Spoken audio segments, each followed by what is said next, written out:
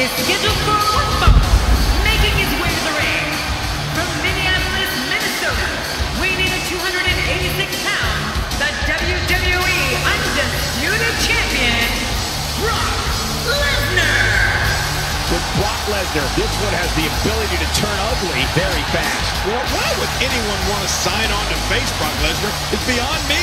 He looks geared up and ready to go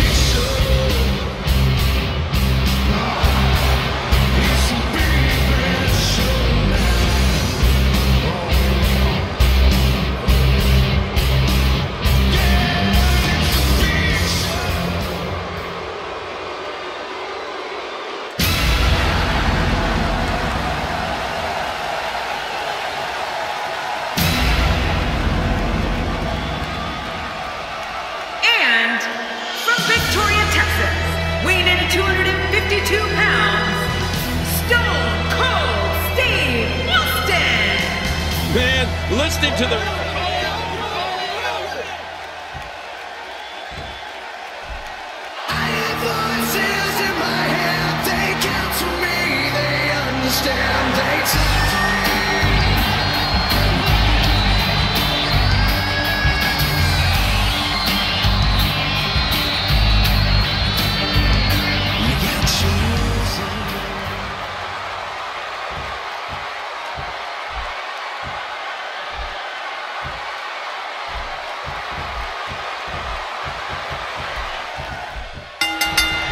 go with this fatal four-way matchup.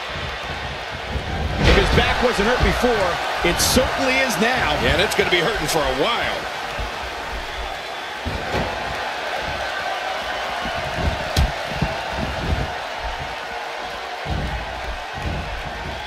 Remember, this is a no disqualification matchup. Which means anything goes here tonight.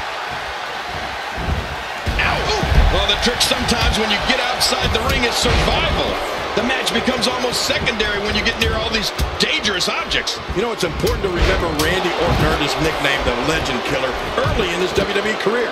For what was a fantastic run of pay-per-view appearances right from the very beginning.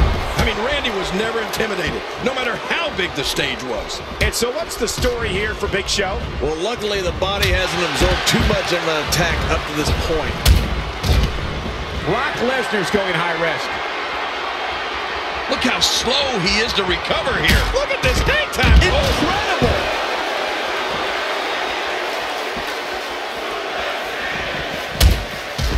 Oh, and a terrific reversal by Steve Austin.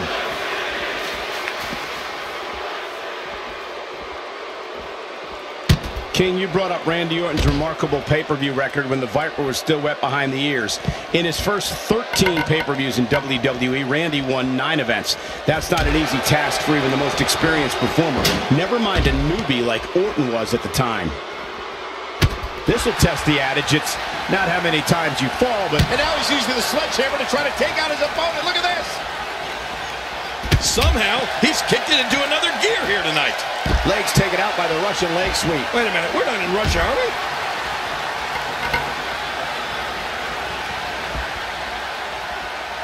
The Viper slithers out of the way. Oh, Slithers, I see what you did there, Cole. Very clever. Randy Orton's got to be hurt after that. No kidding. There's the camel clutch, and somehow he's got to take the pressure off his neck. And of course, the crowning achievement for Randy Orton in his pay-per-view dominance early in his career was becoming the youngest heavyweight champion ever at SummerSlam 2004. Yeah, to think Randy was just 24 at the time, Michael. That's when most guys would be on an independent circuit somewhere. Instead, the Apex Predator was headlining pay-per-views and hoisting championships.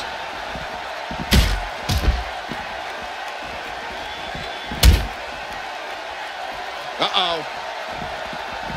Just look at this man. He's all business. And that's the way he has to be if he wants to win here tonight.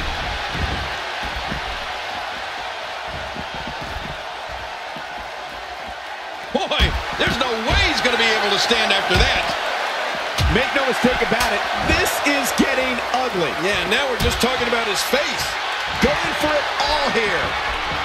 Inside the ring. And Brock Lesnar nails it. Like it. Let's get this thing done inside the ring.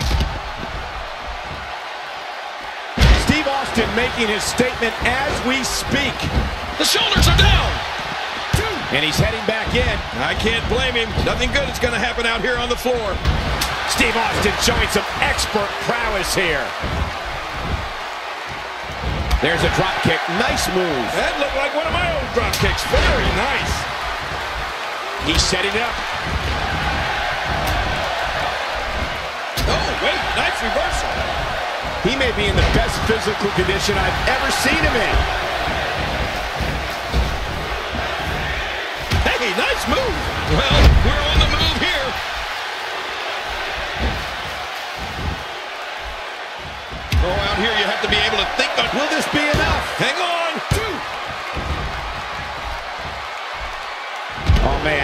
Scramble your insides. Well, the trick sometimes when you get outside the ring is survival. The match becomes almost secondary when you get near all these... It's the German suplex. The end is near. Right about there.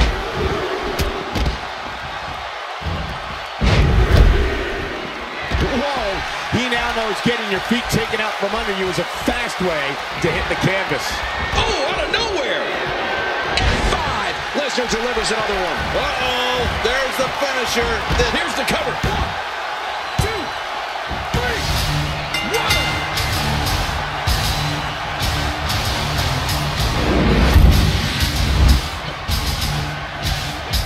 Here's your winner, happy with that win right there.